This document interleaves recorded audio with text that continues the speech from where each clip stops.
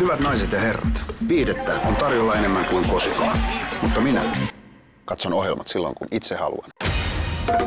Ohjelmakartta on historiaa. Jos leffa tulee saunavuoron aikaan, sauna voittaa. Elokuva katsotaan myöhemmin rauhassa. Mielen rauhassa. Elisa viihdepalvelun 100 vuorokauden tallennustila vastaa 25 tavallista digiboksia. Enkä muuten lähde sateessa videovuokraamoon, vaan videovuokraamo tulee minun luokseni.